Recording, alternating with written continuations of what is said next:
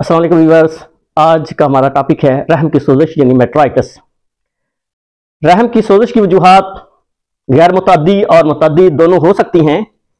गैर मुतदी वजूहत में बच्चे की पैदाइश के वक्त दम का जख्मी होना, असकात हमल, रहम में बच्चों की मौत या जेर का रुक जाना, रहम का मुआयना करते वक्त हाथों को अच्छी तरह साफ़ ना करना मुतदी वजूहत में मुख्तलिफ़ किस्म के जरासीम शामिल हैं।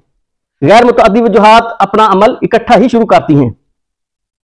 इसकी निशानियाँ, यानी अलामत, बीमार, गाय या भैंस सुस्त हो जाती है भूख में कमी हो जाती है, जुगाली करना बंद कर देती है, दूध की पैदावार कम हो जाती है, गोबर और पेशाब करते वक्त ज़ोर लगाती हैं। इसकी वजह से भूरा या सुर्खी माइल रंगत का मादा खारज होता है। दुम को बार बार हलाती है अगर इस बीमारी का इलाज वक्त पर ना किया जाए तो ये बिगड़ कर पेचीदा शक्ल इख्तियार कर लेती है। खारज होने वाला मादा सफ़ेद, भूरे रंग का और बदबूदार हो जाता है।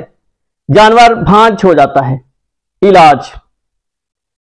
रहम को पोटाशियम परमैग्नेट यानी लाल दवाई के महलूल से धोकर इसके अंदर कैम्प्रान या हैबिटेन की टिक्कियाँ रखनी चाहिए।